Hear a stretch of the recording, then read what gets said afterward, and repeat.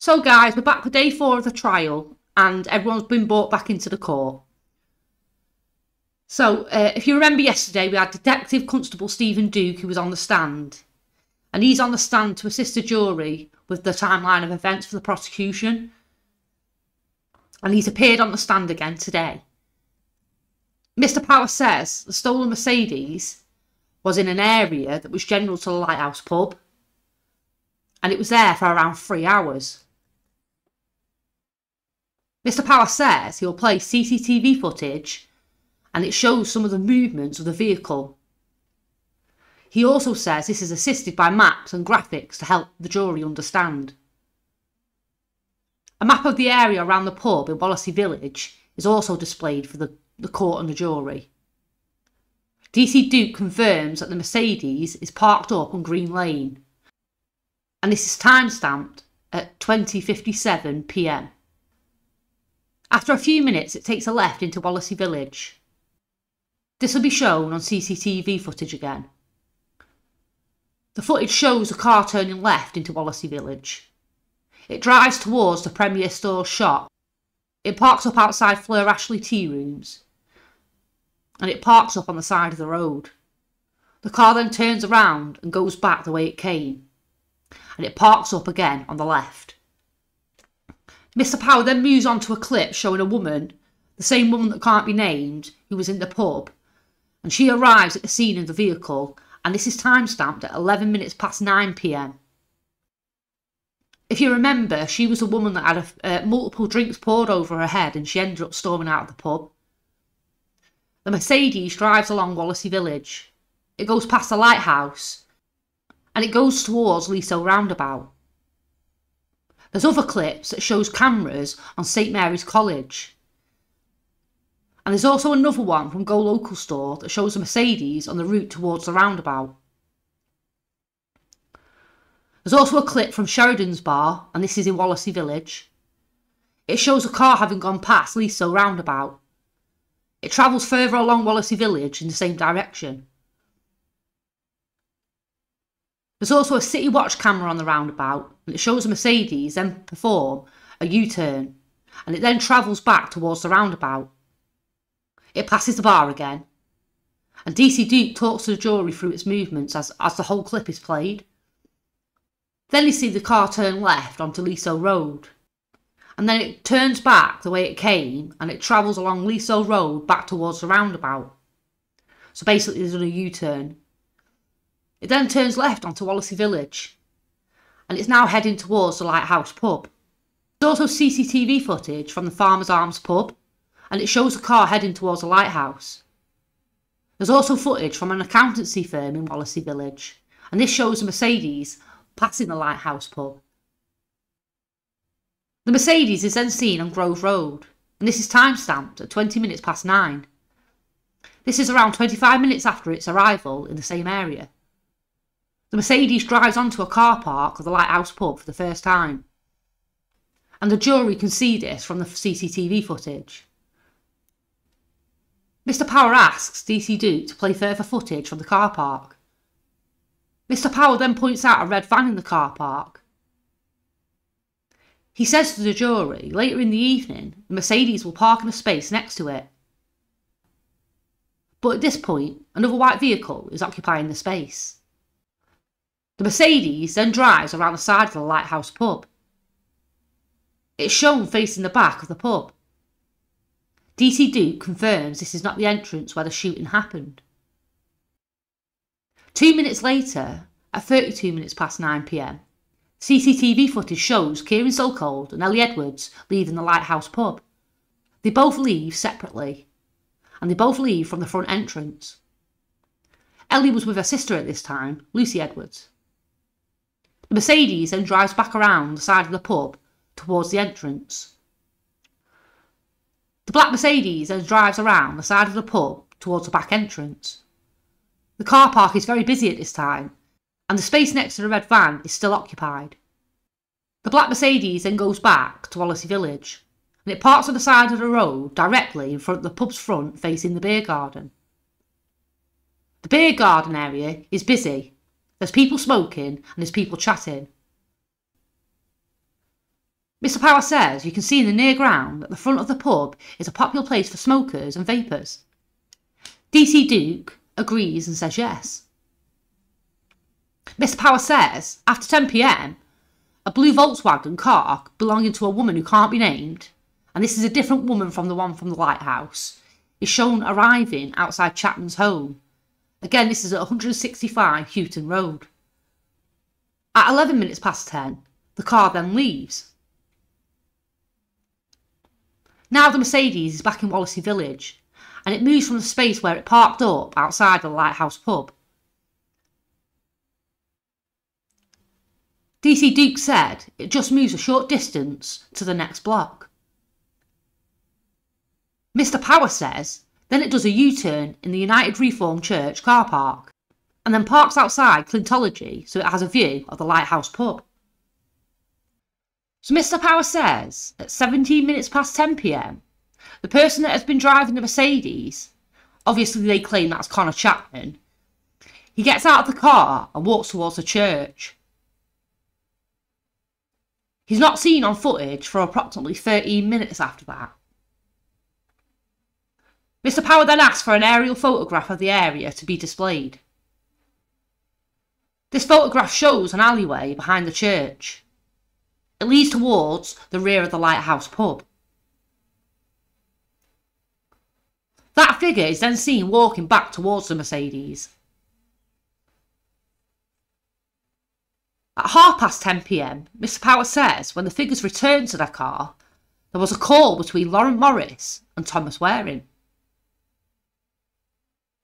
This driver of the car is then seen on foot and it walks past the car entrance.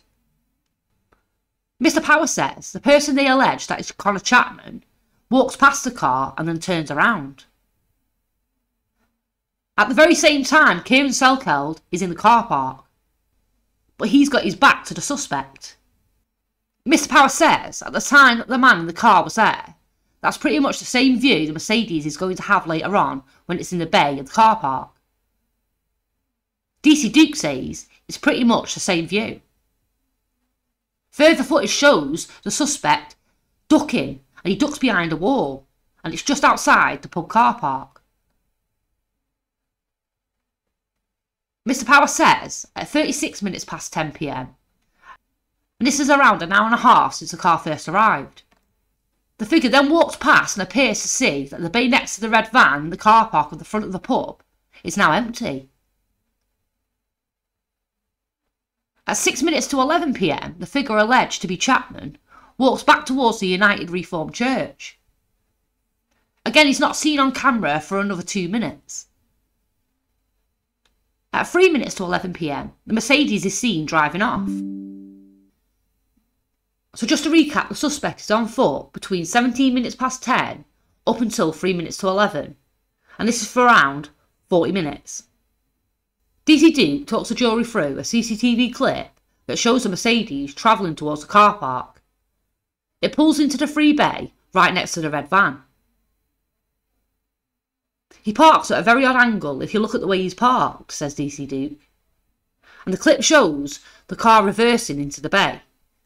And it reverses diagonally into the bay. DC Duke says, I would like you to know that when we see the driver's hands turning the wheel, we can very distinctly see red gloves. Mr. Power says a driver who can be seen wearing red gloves climbs into the rear seat after the lights turn off. DC Duke talks the jury through some still images showing the driver's red gloves on the steering wheel. He now talks the jury through the clip showing the driver climbing into the rear seat of the Mercedes. Mr. Power says the car parked up at 2 minutes to 11 pm. It remained there until 49 minutes past 11. It was there for around 51 minutes. Mr. Power asked DC Duke to display a graphical representation of the overall movements of the car. This is to help the jury. There is a small delay due to a few technical issues, but that's resolved quite quick. Mr. Power moves on and shows at 11 minutes past 11 pm A taxi booking was made under the false name Joe Stinney, and this is between Big Meadow Road and Upton Road. But he says they'll look at that later on.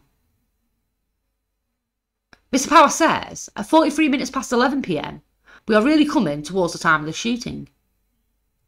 The jury has shown stills of CCTV from inside the lighthouse, and this shows Kieran Salkeld and Ellie Edwards heading towards the front entrance. This is then followed by Harry Logan, Nicholas Speed, and Liam Carr. A few moments go by and Jake Duffy also leaves the pub. Mr. Power says the jury will now see a clip of CCTV footage showing the gunman in the car park. The footage shows a gunman get out and he ducks between the cars. He stands by that red van. He's keeping low at this point so he can't be seen, and he's there for a few minutes. He then crosses over to the building line of the pub and heads towards the front entrance. Another clip showing four of the victims standing outside the pub is played to the jury. Both Ellie Edwards and Kieran Salkeld are also visible in this footage. At 51 minutes past 11pm, the footage from the other angle shows a gunman walking along the building line. He's seen looking at a woman called Jamie Stanton. Then the person steps out from the side of the building and fires a gun with both hands, while at the same time moving backwards towards the car. Next, the jury see a crime scene photo which shows the area where Ellie Edwards was shot. Mr. Power asked DC Duke to show an enhanced still image of the CCTV which shows the gunman. In this image, the red gloves are visible. You can also see white flashing on his trainers. The gunman is wearing grey tracksuit bottoms and a darker coloured top. He's also wearing a balaclava style thing covering his face. The jury have played a full clip, but both angles are shown at the same time. As the gunman fires, Ellie and Salkeld drop to the floor instantly. Salkeld is lying on his back at this time. And like I said before, he freezes for a second and then he starts propping himself up. And he gets himself up by going onto his hands. He appears to reach towards his back. Ellie, who landed with her arms across Salkeld, is lying motionless. The gunman jumps back inside the Mercedes. He pulls out of the bay and turns onto Wallasey Village.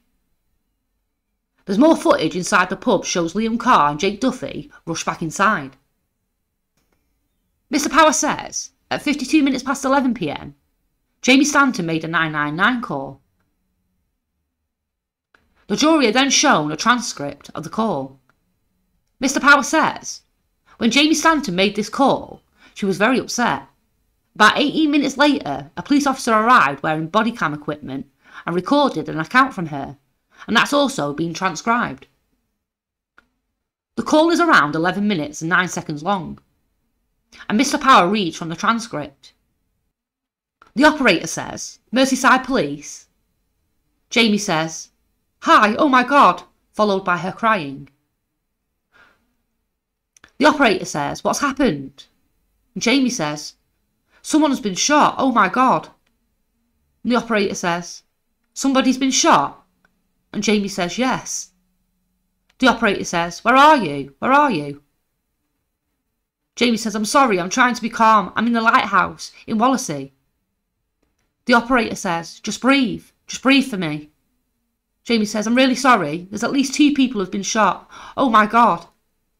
Miss Stanton says the offender has driven off. She said I saw him with the gun. He had a black balaclava on. There was a thing on the end of the gun. It almost looked like the propeller. I saw him. I was going to warn the boy. I was going to shoot round to them, but I couldn't. She says the car was black. She says she does not know the people who have been shot. Miss Stanton says there are at least a hundred people in the pub, but she thinks two of them have been shot. She says to the operator, one is inside and one is outside. Miss Stanton is heard crying throughout the call. The operator says to her, All right, just calm down, all right. We're going to help them. Jamie says, I'm really trying. The operator says, Police and ambulance are on the way. Jamie says, A girl. I think someone's dead. I think she might be dead. And she starts crying hysterically. I can only see two people. Someone is doing CPR. Should I see if there is a defibrillator? The operator says they cannot give a medical advice, and they ask, Do you know what the injuries are? Jamie says, Sorry, I'm trying to look. Back of the head, back of the head. The girl's been shot in the back of the head, and the boy. I can't see where he's been shot. The operator says, Did you see the offender? Jamie says, I think the girl might be dead. The operator asks again if she saw the offender and if it was one. Jamie says, Yeah, he had a balaclava on. I'm sorry, I saw him, I didn't tell them. Oh my god, I watched him. I watched him shoot her. The operator says, You're doing your best, okay? You're doing the right thing. You've done your best. And Jamie says, Please, there's still no one here. And the operator reassures her they are on their way. Jamie says, They've definitely drove off in the black Mercedes. I saw him. I think they might have gone left towards the Farmer's Arm pub. The operator asks her, Do you know the people who's been injured? And Jamie says, I don't know either of them. There is someone still doing CPR on the girl, but I think she might be dead. She says she thinks the boy is moving. At this time, the police then arrive on the scene and the paramedics arrive. The operator asks her to flag them down. Mr. Stanton says she does not know if anyone else has been shot, and at this point the call ends. Mr. Power then shows a CCTV still image of Salkeld being taken back into the pub. Next, they see a plan showing where bullet castings and fragments were found in the car park. He says he'll now deal with body cam footage of Jamie Stanton. He says PC Matthew Titley recorded the conversation with Miss Stanton. But Mr. Power suggests that it might be a good time to have a break, so they have a 15 minute break. So when everyone's brought back into court, Mr. Power rises and he says they will hear a statement from PC Matthew Titley. He recorded the conversation with Jamie Stanton. As he reads the statement, he says, I was on duty in Uniform Mobile Patrol in company with Constable Dunn. We were deployed to an emergency graded call to Lighthouse in Wallasey Village in relation to a shooting where we were informed people had been shot outside and there was blood everywhere. PC Titley says he arrived shortly after midnight, and he also activated his body cam. He said a lot of people were present crying and screaming. He also says he approached a female on the ground covered in blood, but she was being treated. A female approached me in hysterics, he says. She could barely speak. She said she had seen the entire incident. He said this woman was Jamie Stanton, and he sat her down and he got her a drink of water. Mr. Power says he will read for the first page of the transcript of the conversation and then play the footage. He says Miss Stanton was in a deep state of distress and she was sobbing hysterically. Jamie Stanton says, I watched everything happen, what vehicle they're in. PC Titley reassures Miss Stanton and takes her inside. She didn't want to go, so they made their way to a quiet area. PC Titley gets Miss Stanton a glass of water. And this footage is then shown to the jury. It shows Miss Stanton with long brown hair carrying a glass of water, sobbing as she explains what happened. I was trying to find my taxi. I turned around and there was a boy with brown hair. He stood there with a gun. I didn't think it was a gun. It had like a propeller on the end, like a fan. It looked like the fan. She says she saw the man looking at people in the front of the pub. The man was wearing a balaclava, hat, and black buffer jacket. I was going to tell them, but he saw me. He looked right at me. At this point, Miss Stanton is extremely upset, and she's struggling to breathe on the footage.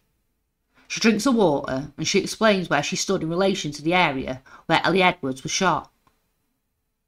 Miss Stanton was quoted as saying, I looked over this way, on the corner of the building, there was a boy, and he had brown hair, for definite, and it was sticking out on top. Miss Stanton then gets overwhelmed as she starts hyperventilating, and she sits down. PC Titley's radio can be heard in the background, and she's sobbing.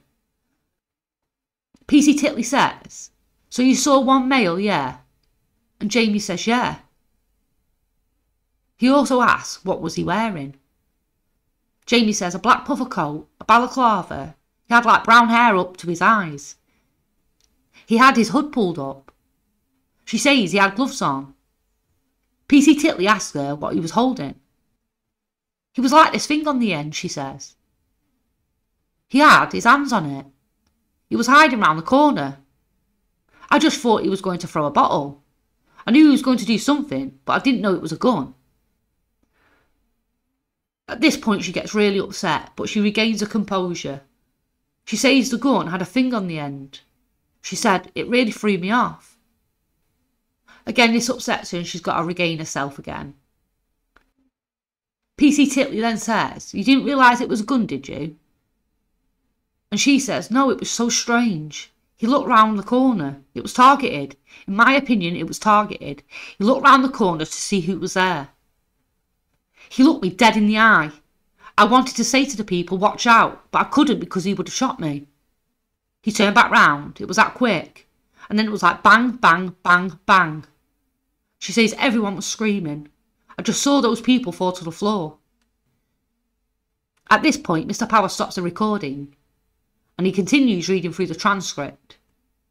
He says, Jamie Stanton said, everyone was screaming, get inside, get inside. Mr. Titley says, Did you see the car?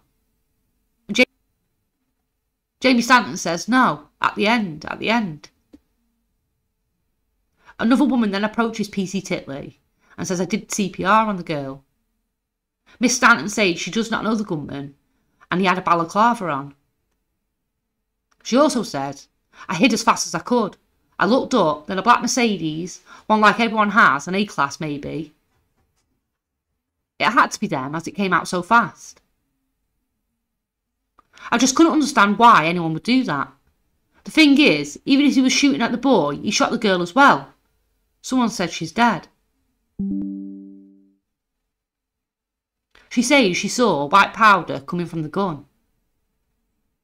She said he wasn't very tall and he was about her height with normal build. PC Titley says he will not take a formal statement now and she'll be called on a later date. He says to her, You're in far too much distress to talk about it now. He says to a colleague, We need to try and get her home, Sarge. Jamie Stanton says, Poor family and friends. And that concludes that transcript. So Katie Appleton, the junior counsel for the prosecution, is now going to read some witness statements. Harry Logan is the first statement to be read out. He was one of the males wounded in the attack. He says he went to the pub with his friends, which was full of people we knew. During the night, we were talking to lots of different people we knew. All of a sudden, I saw someone walk around the corner. They were wearing a full face covering. I could only see their eyes. They raised a gun and pointed it in the direction I was stood. I heard a loud bang and was spun around by the force of it hitting my forearm. He says he ran inside but fainted when he saw the blood on his arm. The pub was in some sort of mad panic and people were running everywhere, he says. He says he did not realise anyone else was injured until he was taken to hospital. He said he was travelling with a man he later found out was Jake Duffy. He says he believed he was going to die. I am totally shocked by what I saw today. Who walks into a pub on Christmas Eve and does that? It's just fucked up. And that concludes Harry's statement. The next statement is Nicholas Speed. Mr. Speed says he arrived at the pub with three friends. They arrived between 6pm and 7pm. He said the pub was busy and it took around 15 minutes to get served. His girlfriend and his sister were also there. He says at one point a woman called Katie Jones had an argument with another girl about an ex-boyfriend. At this point the bar stopped serving drinks for a while until the woman left and the pub was less busy for a while. He said he went outside with a woman he knew called Ashley. He said there was other people outside to the right close to the steps. I was talking to Ashley and having a cigarette. Shots were fired, and I didn't see the gunman, but I heard people screaming after the shots and people running inside the pub. At that point, I felt a pinch in my calf. I then saw a female on the floor close to the steps. I saw blood on the floor and I ran into the pub. When I came back into the pub, I saw that a male who I did not know and a female had been shot. He said someone argued with him for mentioning that his calf was hurting because a female had been shot. He said he saw a hole in his jeans and saw a mark on his calf. He described it like something worse than a paintball, like something was hot. He said he did not require a medical attention for his injury, but it resulted in a bruise to his calf. Mr. Speed said he was found walking around, and he, he was quoted as saying, I usually try not to think about it anymore, as it is hard to think about. And that concludes his statement. Now Mr. Powers goes on about more calls that were made. He says David McKellan, Connor Chapman's granddad, called Chapman for three minutes on New Year's Day, while in the presence of Sergeant Alan O'Shaughnessy. Sergeant O'Shaughnessy is called to give evidence, and he's sworn in by the court usher. He confirms his details and confirms he was dispatched to an address with other officers in Woodland Road, Woodchurch. They were there to execute a warrant under the Police and Criminal Evidence Act, known as PACE. He confirms that is the address of Connor Chapman's grandparents. Sergeant Allen says firearms officers attended initially and confirmed he was at the property. He says he realised Chapman was not there. They went into the property while activating his body worn camera. He served a copy of the warrant to David McKellan. He introduced himself as Connor Chapman's grandfather. Mr. Power asked him to confirm that Glenys McKillen, Chapman's grandmother, said she had COPD and was reluctant to leave the property. Sergeant Allen says it was quite clear to me at the time she was in no condition to leave the property at the time overnight. I didn't go into too much detail. I explained that we were there on behalf of the investigation team and it was also a serious offence and we needed to speak to Connor. He says Mr. McKellan was very helpful and he used his phone to call Connor Chapman.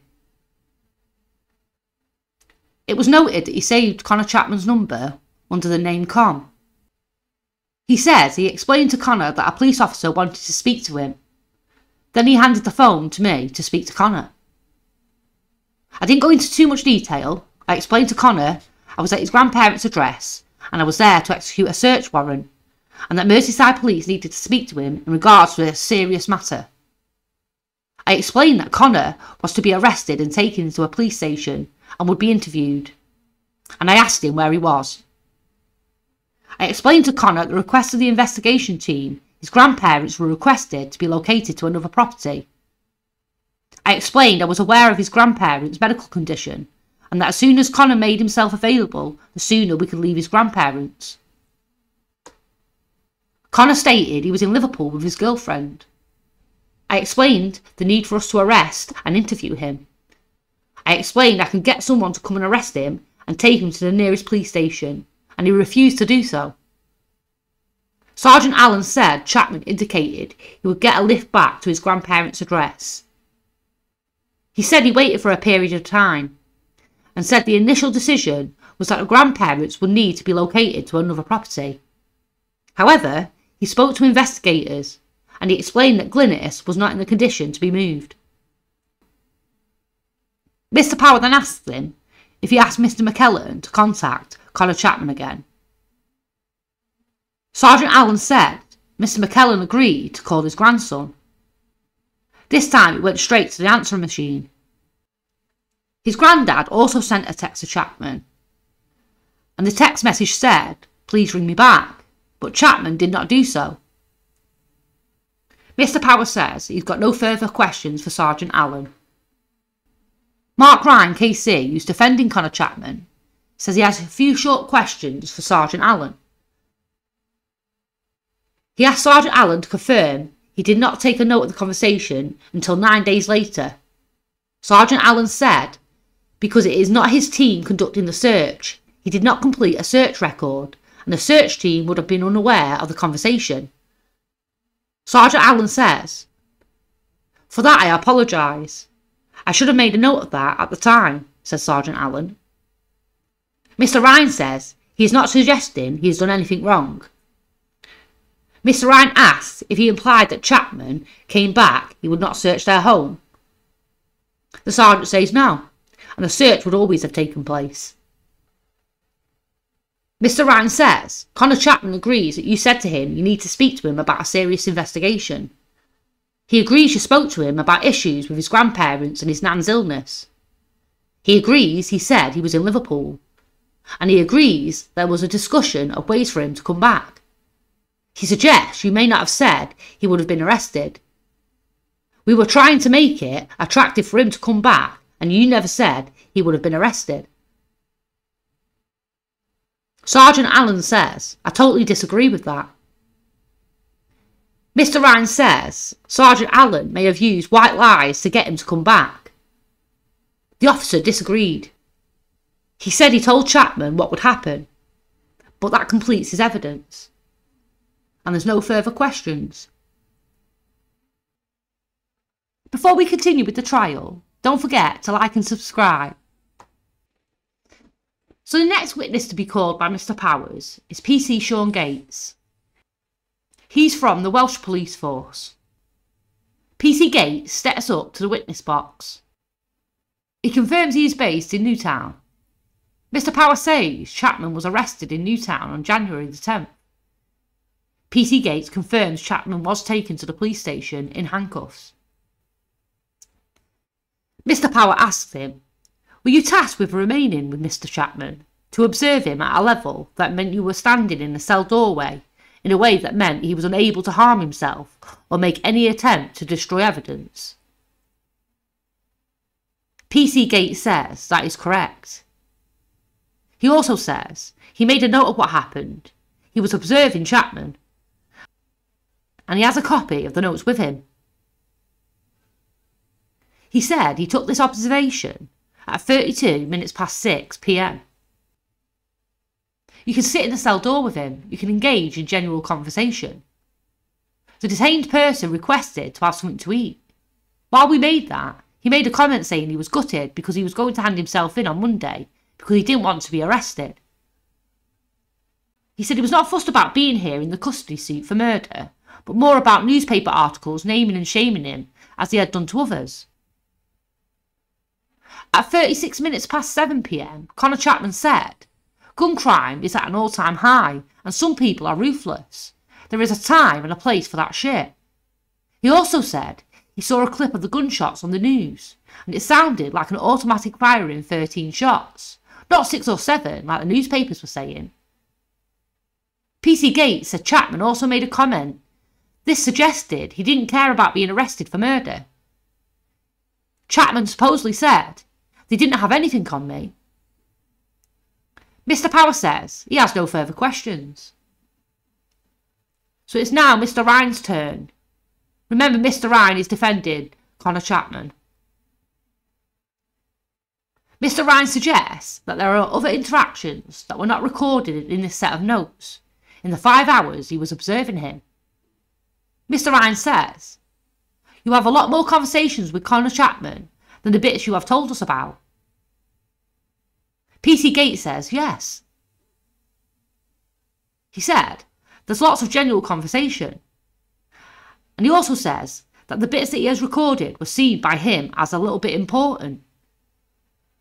Mr. Ryan points out that Chapman also discussed his past. He also said how he was a changed person now. Mr. Ryan also asks if Chapman gave the impression that other people had been arrested and named and shamed over the shooting. PC Gates agrees. Mr. Ryan says, there are remarks as part of a long general conversation. PC Gates says, I didn't ask him any questions about the offence, but yes. Mr. Ryan suggests that Connor Chapman's comment about gun crime was saying that if you're going to do this kind of thing, you don't do it on Christmas Eve in a busy pub. PC Gates says he did not know what Chapman meant by his comment. He confirms he made notes in the cell doorway. Mr. Ryan says at 8pm, Chapman asks when he had been taken to Merseyside, and at 8.07pm, he said he felt like he was having a panic attack. Four minutes later, he said he doesn't care about the murder, they don't have anything on me. PC Gates says he was talking to himself in the cell after he calmed down. Mr. Ryan says it was a discussion about food and drink. He also said it was about calling a solicitor and his interests. Again, he says there's lots of general conversation over the five hours. PC Gates agrees and says yes.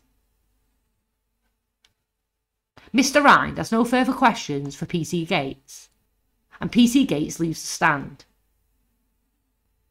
Now Miss Appleton stands. Remember, she's a junior counsel for the prosecution. She's there to deal with some agreed facts regarding the crime scene investigation at the Lighthouse pub.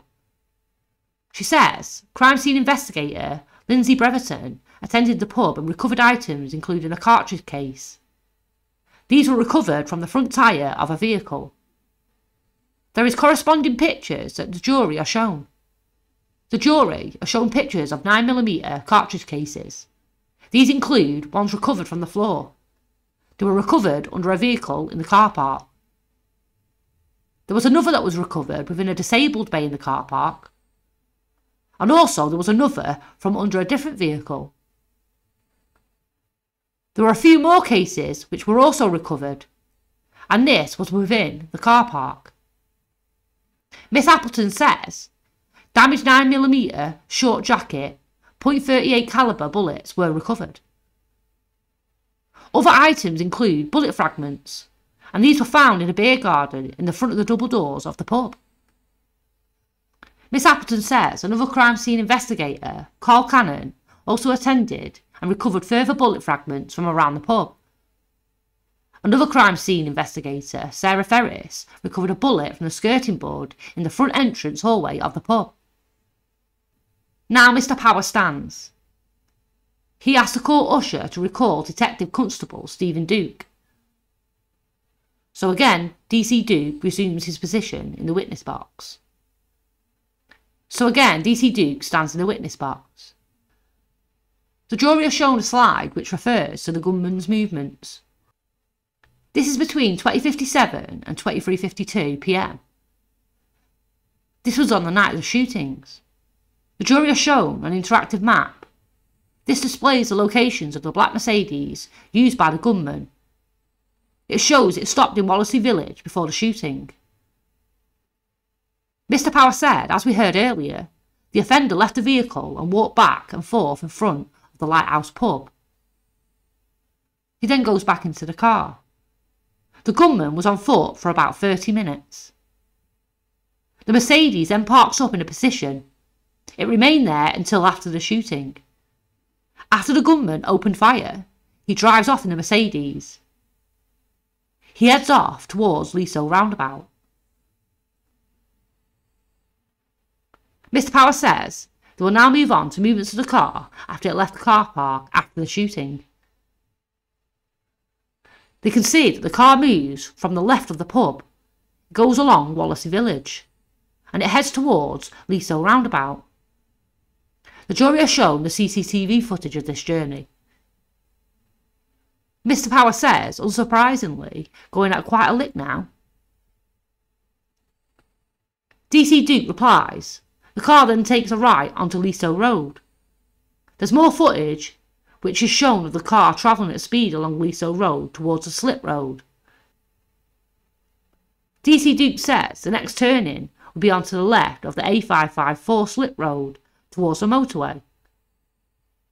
A City Watch camera recorded that footage and it, and it showed the car going around a slip road roundabout before taking a right onto junction 4 of the motorway. It headed southbound. Mr. Power says the next recording is of the vehicle in Private Drive in Barnston. Thomas Waring's home address is close to the junction with Storeton Lane, although the junction itself is not covered by CCTV cameras.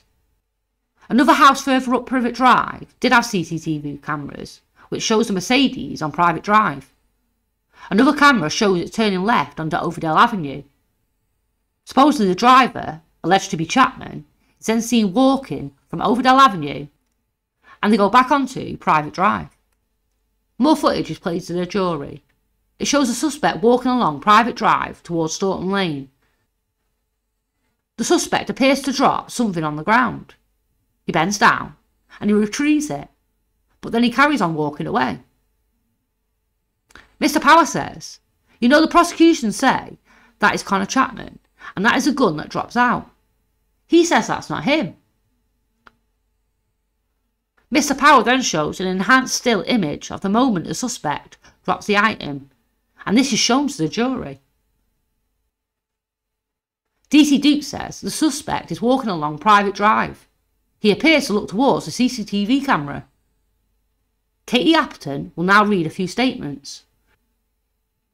The next statement is from Lauren Morris. The statement refers to movements of Thomas Waring. She says she has known him for around 12 months. She said she's been seeing him for three months. She says he is not her boyfriend, but she has been seeing him. On December the 24th, Tom called him and told her he was in Manchester and asked her what her plans were later, she said. At half past ten, she received a call from Waring. He arranged to come to visit her. He arrived in a taxi, and this was around 11 pm. When Thomas Waring left, he ordered a taxi from an app on his phone, but he wanted to go to a man's house that can't be named for legal reasons. He says he receives messages from Thomas Waring on Instagram while he was at a friend's drinking at around 10pm. Thomas Waring picked up the man and another friend in a taxi and went to the man's house. They drank a bit and smoked some weed.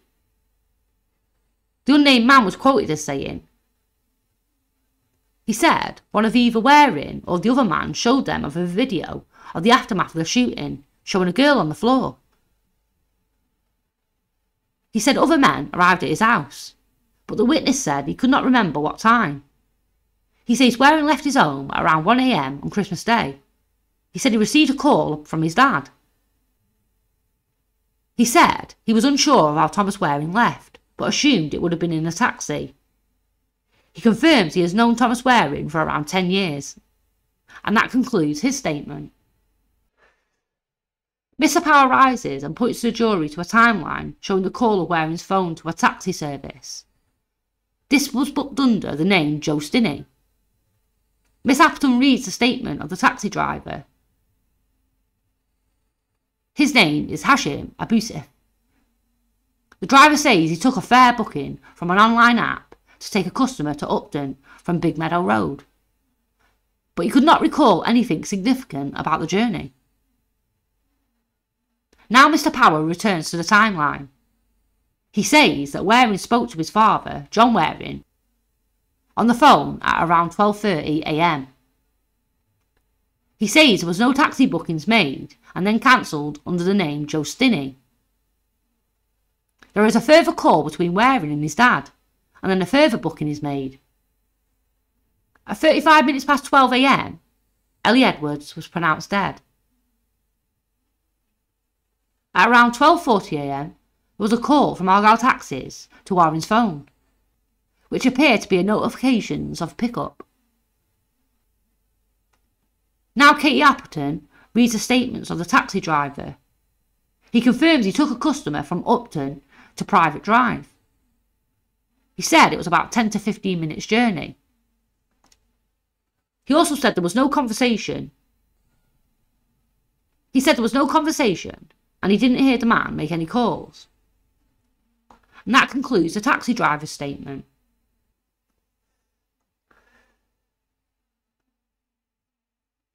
Now Mr Power shows CCTV footage of Private Drive, and this is timestamped shortly before 4am. It shows a pedestrian who the prosecution say is Connor Chapman. They're seen walking along towards Overdale Avenue, where the Mercedes is parked before running along a short distance and slowing down. He is off camera on Overdale Avenue for around 9 minutes and 11 seconds. The Mercedes then reverses out of Overdale. It continues up Private Drive. It goes at quite a slow speed to Waring's home. Another booking was made by Waring's phone for Private Drive without a house number. This was to Ford Way in Woodchurch. Again, they didn't provide a number, and it was under a false name, Ben Williams. Now, Mr. Power will play an audio call for the booking. You can hear that the driver says, You haven't put a house number on your booking. The phone user says, It's just the first one as you turn in. And this is alleged to be Thomas Waring. The taxi driver says he will be around 10 minutes. And that's the end of the audio call. Now Miss Appleton reads the statement of Richard Bolton, the driver who took the fare and spoke on the phone. He says he is self-employed but also takes jobs from Argyle Taxis. When accepting jobs from Argyle, he says customers are able to make bookings over the phone or on an app. He said he was on duty when a job came onto the system in the early hours of Christmas morning, and this was a pick-up from Private Drive. He says there was no house number, so he used the number on the system to ring the passenger. The passenger said they'd be waiting on the corner. Mr. Bolton picked up a male on Private Drive. The male asked to be taken to Ford Way. He says he put the area of Woodchurch into the system. He also says he pulled up on Ford Way. Then the male paid with a £20 note. The taxi driver said, I generally always talk to passengers, usually about the weather or general chat. I tried to talk to the passenger, but he was quiet and didn't engage. He was slouched back in the seat. He described the passenger as having dark tatty and messy hair. He also said he was a small to medium build. So that concludes Mr. Bolton's statement. Now Mr. Power shows a CCTV clip of the taxi driving along Houghton Road heading towards Ford Way. Mr. Power asked DC Duke to show a clip from a camera facing Chapman's home on Houghton Road. The taxi can be seen stopping in the distance on Ford Way. More footage shows the figure the prosecution alleged to be Connor Chapman running past the front of his home on 165 Houghton Road. Another camera further along Houghton Road captures the figure jogging past. More footage shows the rear of the properties on Houghton Road. This captures the figures walking past. Then the figure jogs back to the same direction. The figure then reappears at the front of Houghton Road and heads towards 165 Houghton Road. Mr. Power says at 10 to 1 pm on Christmas Day, another call is made to book a taxi from Waring's phone number under the name Ben Williams and they pick him up from Private Drive. The taxi made a drop off at the Horse and Jockey pub.